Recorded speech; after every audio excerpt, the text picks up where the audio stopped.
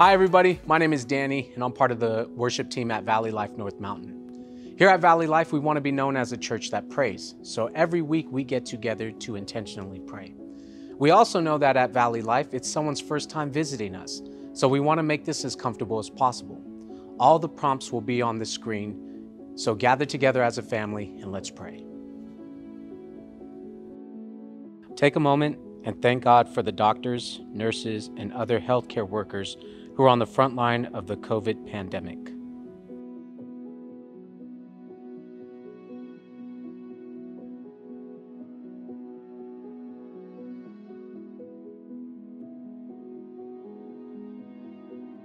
Ask God to protect them as they bravely face this disease on a daily basis.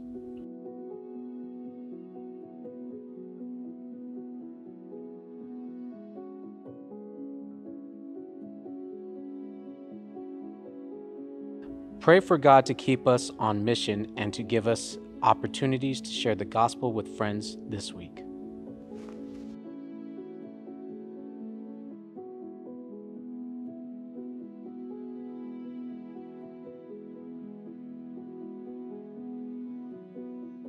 Our scripture reading comes from the book of Hebrews, chapter 7, verses 1 through 4.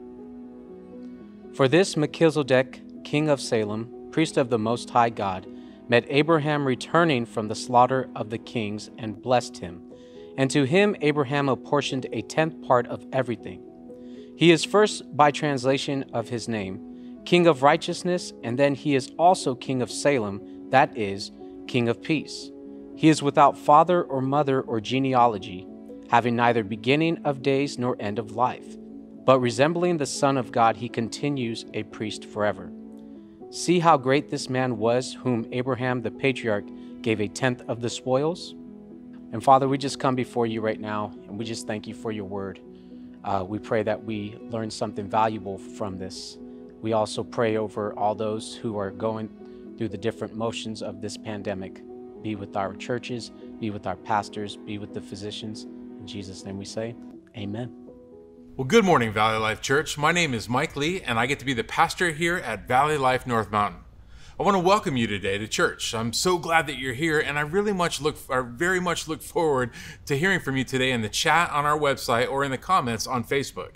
And so, speaking of that, let's just get it going right now. Let's just jump in there and get it going. Let's try something out right now in the chat. Maybe this will be fun, um, and so I'd like to just do it. So, what have you been doing for fun for the last couple of months? Just type it in there in the chat, type it in the comment section. What have you been doing for fun during this time of social distancing and all that kind of stuff? What kind of things have you been doing? And I got to be honest with you, I'm doing two things right here. Obviously, one of them is I'm trying to engage you in the chat. But the other one, if I'm being completely honest with you, is that I am trying to steal ideas from you. See, my family's been trying to find new ways to occupy the extra time that we have home right now. And so we're just looking for new ideas. And so I'm to steal some of yours.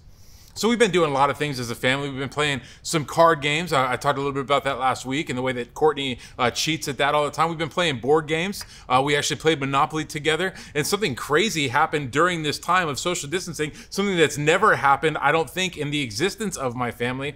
We actually finished a game of Monopoly, and everybody still talked afterwards, and so that was fantastic. Uh, we've also been reading. We've been going for walks around the neighborhood, and we've been watching some movies together. And so, in the last couple of weeks, the kids have really gotten into this idea of watching movie series, like not just one movie, but movies that have multiple series to them. So, like they wanted to watch The Lord of the Rings, and so they they watched that whole trilogy, and then they wanted to watch The Hobbit, and then they watched that whole trilogy, and they're considering now watching through all of the Marvel movies. And I would think at first, like, geez, that seems like it's going to take forever. But it seems like these days we do have a lot of extra time. And so just last week, we were watching something. We were watching one of these movie series, and we came to the end of one movie, and then Courtney wanted to start the next one.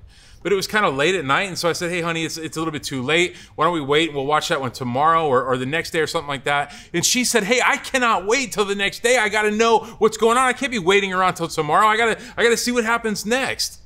And then James, uh, he perks up and he's like, hey, wait a second. What are you talking about? Wait till tomorrow. He said, are you kidding me? He said, when this movie came out in the theaters, I had to wait almost an entire year to see the sequel.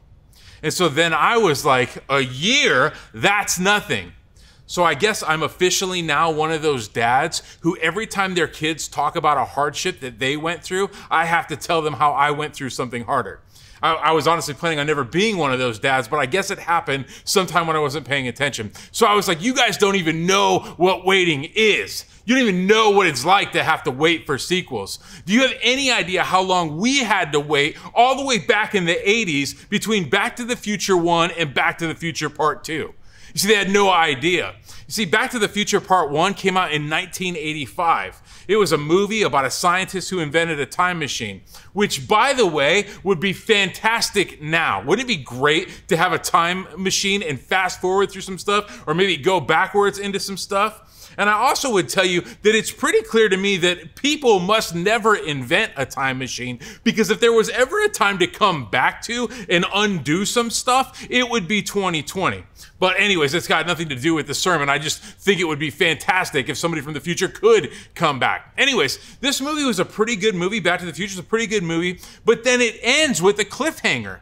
It, the movie ends by creating a brand new problem that you'll have to wait until the sequel for it to get solved. And so at the end of the movie, up on the screen, it just flashed to be continued. And so all of us 80s kids, we waited and we waited and we waited and we waited and finally in 1989 back to the future 2 finally comes out 4 years later we waited around 4 years for the sequel.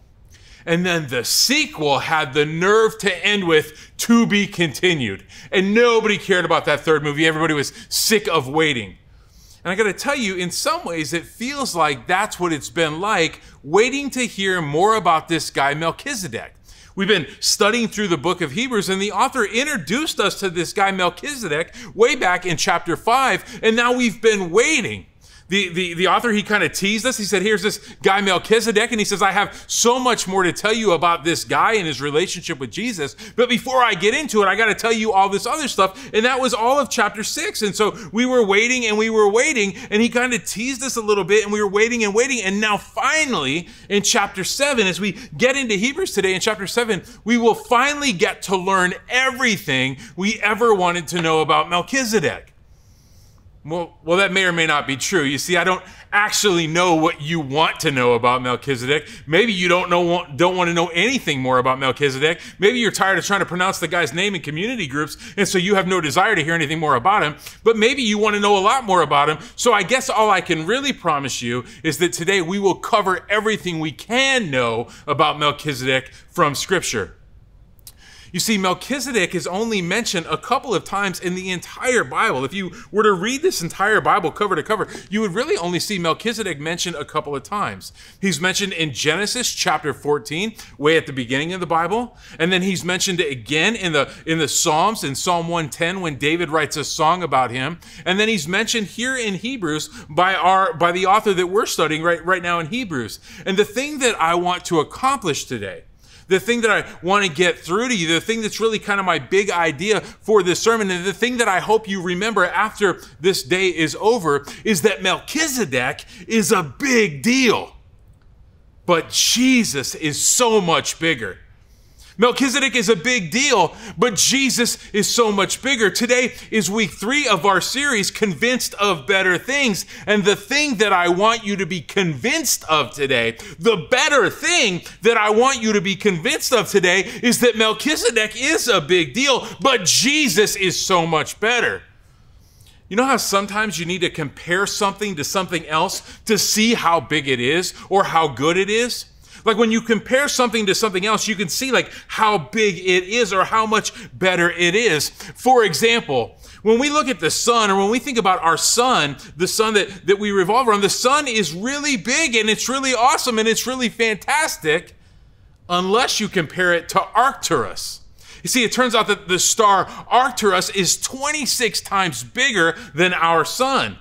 But by knowing that the sun is big, it helps us understand how huge Arcturus is. Or, like, if you think about the Empire State Building. See, the Empire State Building is really big. It's, it's really, really tall. It comes in at 1,453 feet, and that is very, very tall. until you compare it to the Burj Khalifa in Dubai, which comes in at 2,723 feet. And if we could just grasp how big the Empire State Building is, we have a better understanding of just how awesome that tower in Dubai is. And of course, my favorite comparison, I've been using it a lot since The Last Dance came on, is the comparison of LeBron James and Michael Jordan. You see, LeBron James is an unbelievable basketball player by any standard until you compare him to Michael Jordan. And when we observe LeBron's greatness, it helps us appreciate just how unreal Michael was. I mean, LeBron is fantastic, but next to Michael Jordan, he's just second best.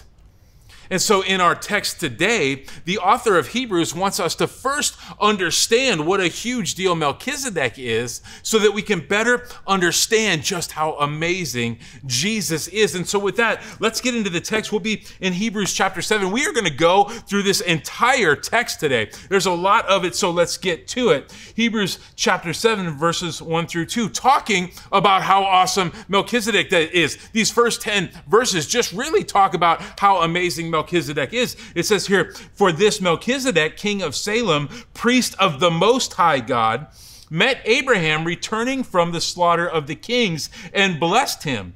And to him Abraham apportioned a tenth part of everything he is, he is, first by translation of his name, king of righteousness, and then he is also king of Salem, that is king of peace. Now, there's lots of big deals here. There's a lot to say about Melchizedek. Melchizedek was a king of Salem, and he was a priest of the Most High God, and this is a big deal. You see, Melchizedek is a priest king. He's not just a priest, and he's not just a king, he's a priest king. You know, we might study the kings that we find in the Old Testament, and we see that David was a king. He was a king after God's own heart, but he was not a priest. We also know that Aaron, maybe we're studying along, we see Aaron. Aaron is the first priest in the Levitical line, but he is not a king. But here we have this guy Melchizedek, and he is a priest king. So it's a really big deal. And the text goes on in verse 7, uh, chapter 7, verse 3. It says, He is without father or mother or genealogy, having neither beginning of days nor end of life, but resembling the Son of God. He continues a priest forever. This also is a very big deal. This is a big deal that Melchizedek's genealogy is not mentioned. We don't have his genealogy. We, we can read all throughout the Bible and we will find other people whose genealogy we do have. You see, we totally know David's genealogy. We know Solomon, his son. We know David's son Solomon. We know his genealogy. And we certainly have Jesus's genealogy. If you want to know where Jesus came from, if you want to know where how to trace his ancestors back, you could open up to Matthew and you could read his entire genealogy and trace him all the way back. But the author here does not tell us of Melchizedek's genealogy. He tells us neither who Melchizedek's parents were or whether or not Melchizedek had any children.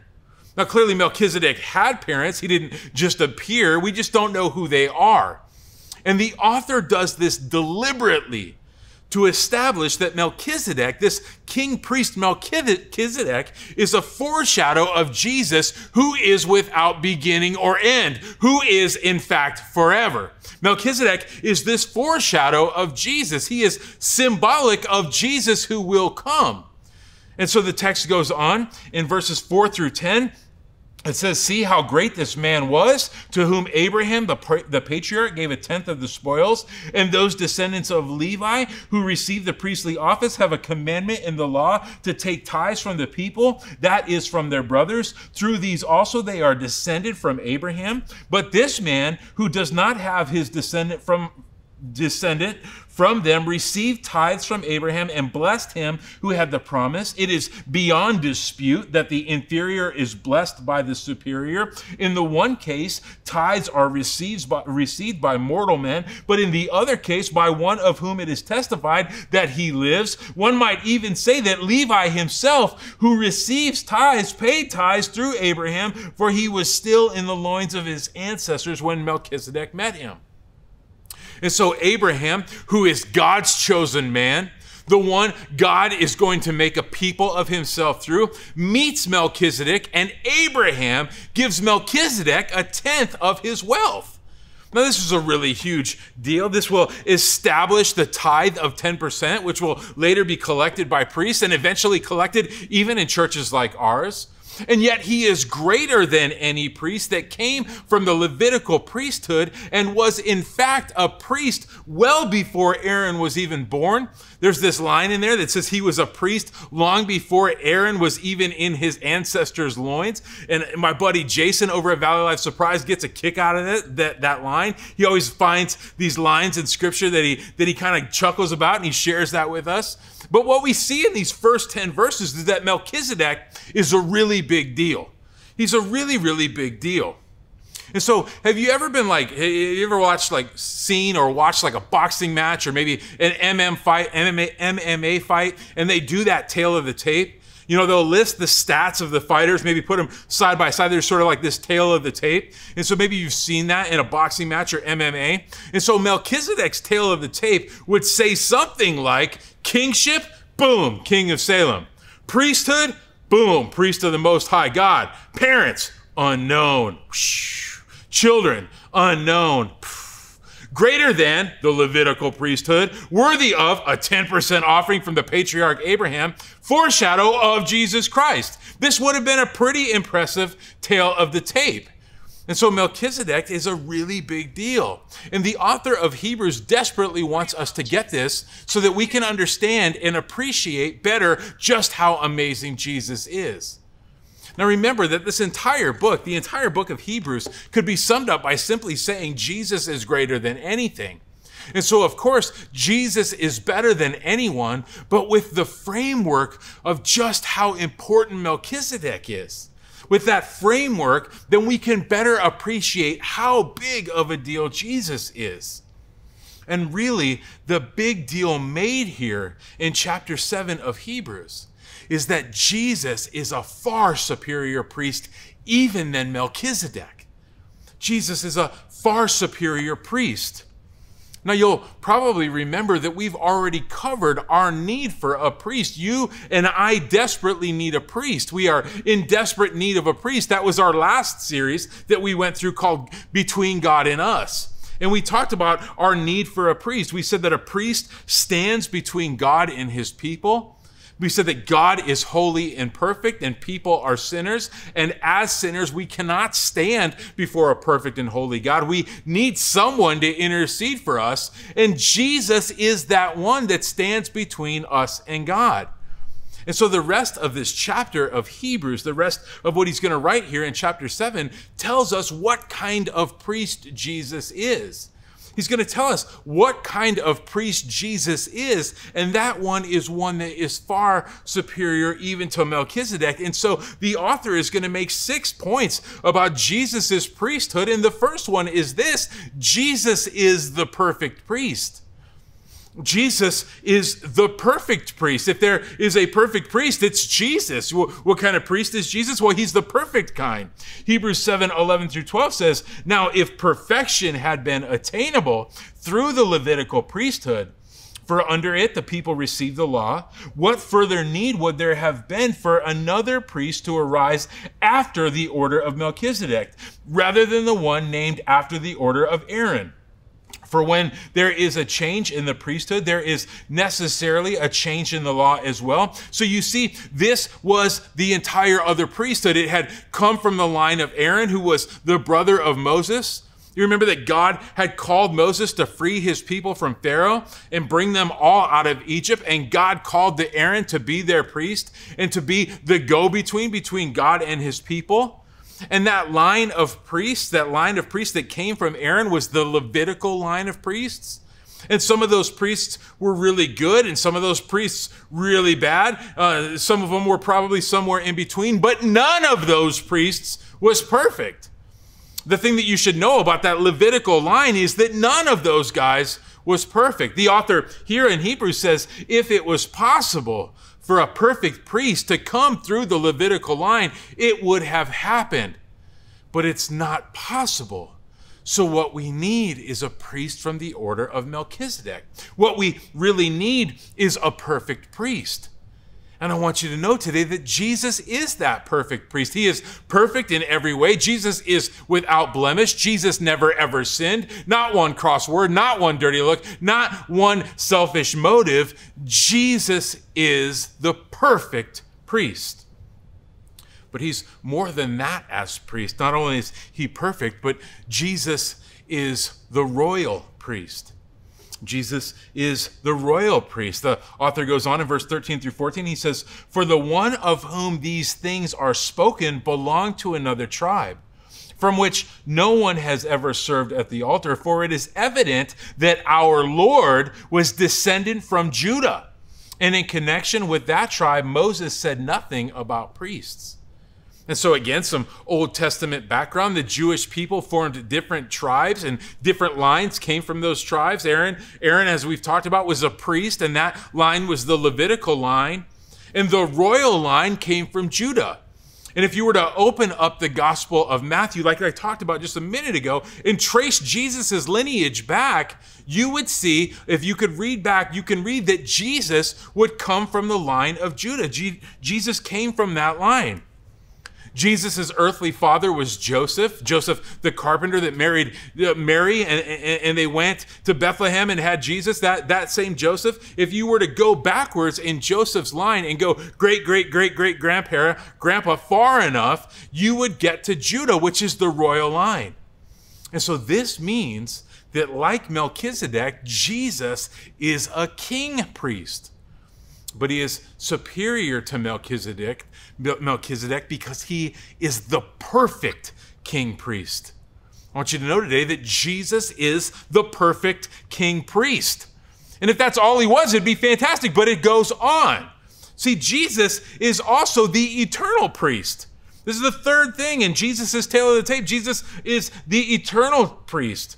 Hebrews 7 15 through 17 says, This becomes even more evident when another priest arises in the likeness of Melchizedek, who has become a priest, not on the basis of a legal requirement concerning bodily descent, but by the power of an indestructible life.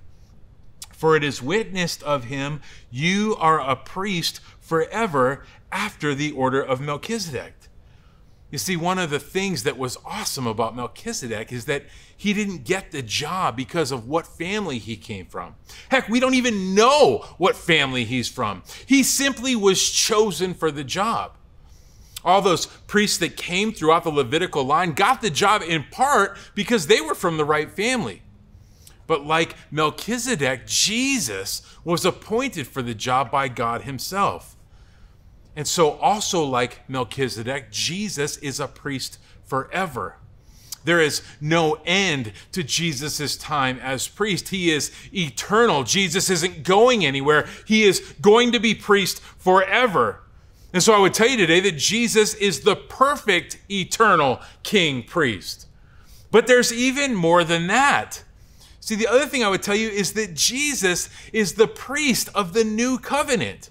Jesus is the priest of the new covenant. This is the next thing in Jesus' tale of the tape. He is the priest of the new covenant. Hebrews 7 18 through 22 reads, For on the one hand, a former commandment is set aside because of its weakness and uselessness, for the law made nothing perfect. But on the other hand, a perfect hope is introduced through which we draw near to God.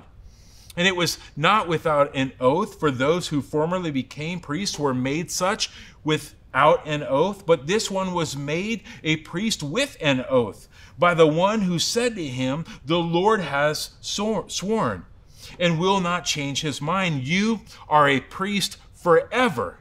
This makes Jesus the guarantor of a better covenant. So there was this old covenant there was an old law of the Old Testament, and when people violated that law, it was sin. And when sin occurred, an atonement for sin had to happen. An atonement had to take place. And as we've said before, this was done with a blood sacrifice. And the high priest would carry out that sin offering. And so, as we've said before, people would symbolically come and put their sin on an animal, and that animal was killed and sacrificed. And this might seem like an odd thing to do. It maybe seems like an odd thing. But if you stop and think about it, it actually makes a lot of sense because it is a reminder that sin always leads to death. I don't care what sin we're talking about. As a church, you should know by now, because we've said it a lot, that sin will always lead to death. Sin will always lead to the death of something. Sometimes sin will lead to the death of trust. Sometimes sin will lead to the death of a relationship. Sometimes sin will lead to the death of innocence, but sin will always lead to a death. And so here it is a reminder that sin leads to death. And the thing that died when people sinned during the time of the Old Testament was these animals. It's also a reminder that sin will always cost something. And so when people of the Old Testament sinned, they would make the sacrifice and it would literally cost them an animal. It would cost them something. Their sin would cost them something. Anyways, this sacrificial system pointed out that sin always leads to death, and it also pointed out that sin will cost something. And so this all happened under that law and under that covenant. But the thing is, that law and that covenant was powerless to stop sin, it simply pointed it out. It was powerless to stop sin. It, it just pointed it out. It's like, hey, you sinned. Again, you sinned, and, and, and it's just pointing it out. But then Jesus comes and now there is a new covenant, and Jesus is the priest of that covenant.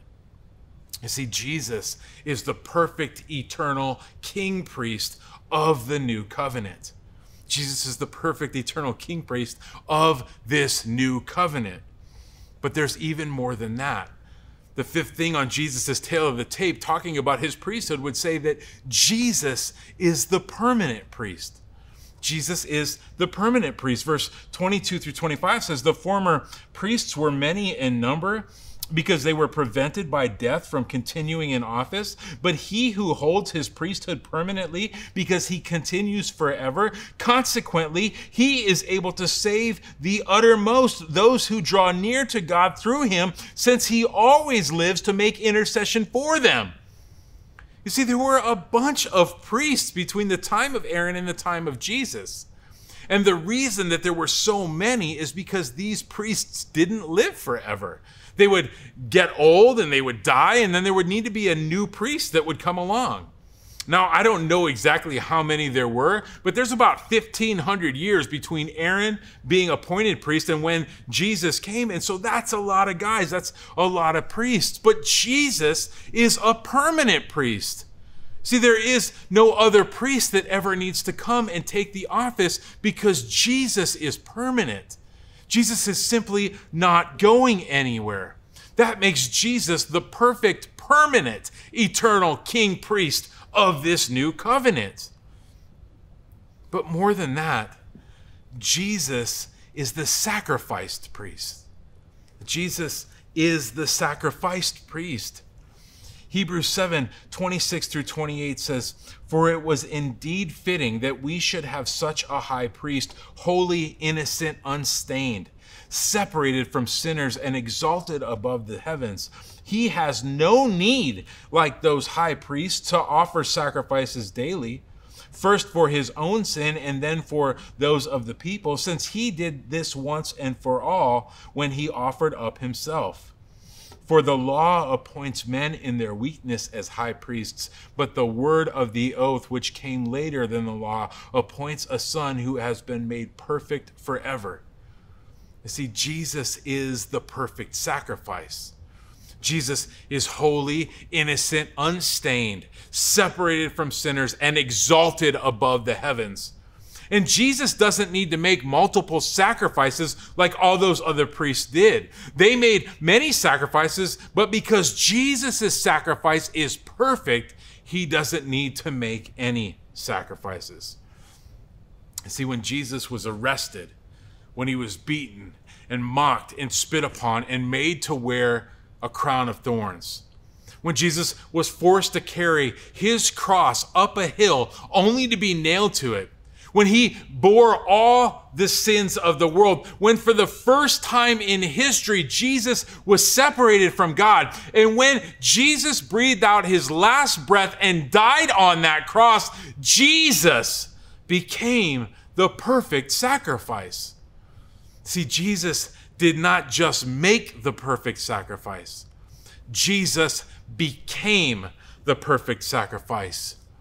And so when we ask what kind of priest Jesus was, we would say that Jesus is the perfect, permanent, eternal king priest of the new covenant who became the perfect sacrifice.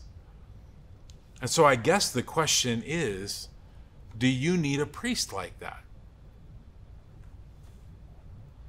I guess the question before us is do you need a priest like that? You see, Hebrews is quite clear. As far as priests go, Jesus is the goat. Jesus is perfect in every way. There is no one to compare him to. He is far superior than anybody that came from the Levitical line, and he is even far superior to Melchizedek himself. Jesus is the perfect priest. He is the perfect priest to stand between imperfect sinners and a perfect God. He is perfect to stand be- between imperfect sinners and a very perfect God. And make no mistake about it, you and I are sinners. Romans 3:23 tells us for all have sinned and fall short of the glory of God. Not some have sinned, not most will sin, but all have sinned and fall short of the glory of God. We are all sinners. We are all sinners, and one day we will all have to stand before a perfect God. Romans 14, 11 through 12 tells us, For it is written, As I live, says the Lord, every knee shall bow down to me, and every tongue shall confess to God. So then each of us will give an account of himself to God. You see, we are all sinners and we will all stand before a perfect God. Those two things are truths of which we have no choice. We are sinners. Even if you haven't realized that you could look at your life and see sin all over it. We are sinners, and one day we will have to stand before a perfect God. You see, but what you do have a choice about is whether or not you want Jesus to stand between you and God. You see, you can stand before God on your own. You could stand before God and face all of his condemnation for all the sins of your life, which would be awful. Just picture yourself standing before a perfect God, and he looks down on you and sees all the sins. He sees all the times that you were selfish. He sees all the times that you put yourself above others. He sees all the times that you broke his laws, and he knows about all of them. He knows about the sins that you put on full display for everybody, and he knows about the sins that are buried deep in your heart. And so your choice is that you can stand before that God on your own, or you can stand before God with Jesus right in between you you have the choice to have Jesus say, I, have got you. You stand here, and God will look at me. God will look at me, and He will see what I've done, and He will credit you for it. God won't see all the things that you've done. God will see what I've done. You see, we have the choice to stand before a perfect God with Jesus, the perfect, permanent, eternal king priest of the new covenant who became the perfect sacrifice between us and that perfect God. You know, if you've never believed in Jesus, you could do that today. Today could be the day where you would say, I am not going to stand before God on my own. I've been living like I would do that, but I, I don't want to do that anymore. It seems like a bad idea to me. Today is the day you could do that, right where you're at, because the Bible tells us in Romans 10 9, it says, If you confess with your mouth that Jesus is Lord and believe in your heart that God raised him from the dead, you will be saved.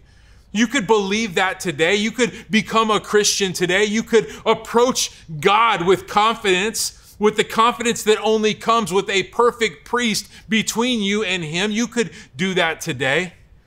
And so, the question that I have with you, church, the question that I have if you are watching this sermon or listening to this podcast is can you believe today? Can you believe today? Can you give up any belief that says that you can do this on your own? And can you simply believe in Jesus?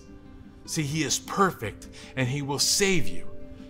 if you can believe. Let's pray. Lord God, it is it is so hard to fathom how perfect you are, Jesus.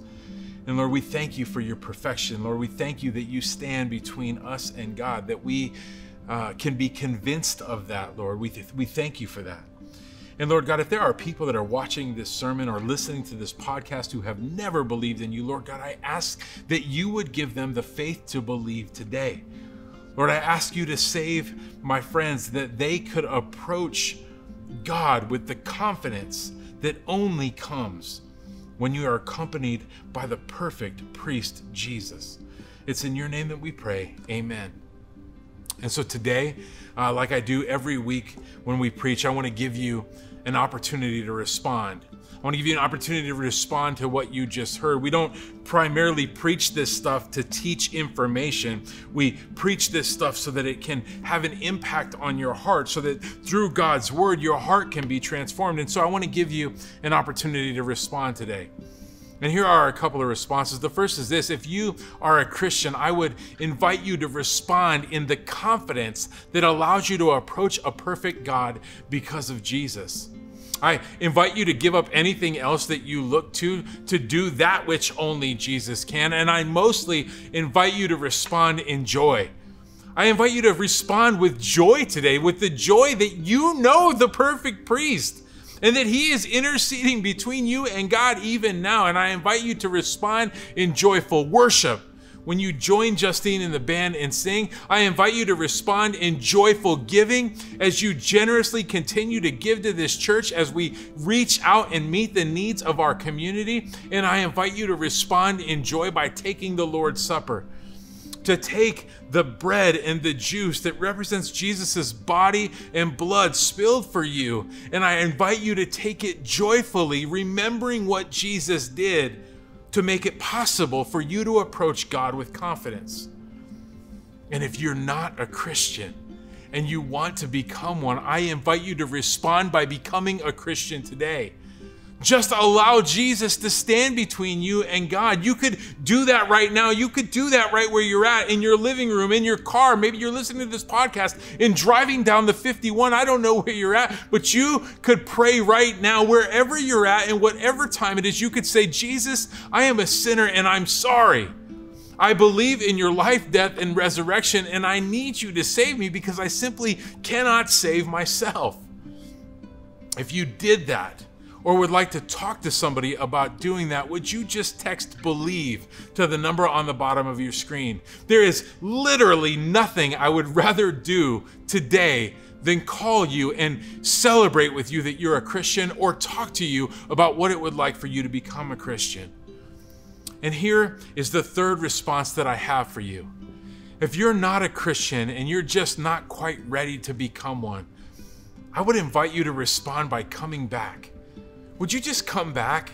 Would you come back here next Sunday? Will you keep trying this on? Would you just keep coming back to this church and allow this church to pray for you and care for you until you're ready? Valley Life, I love you so much, and I cannot wait until I can see you again. Have a great week, and I look forward to connecting you with you in the chat. Love you guys.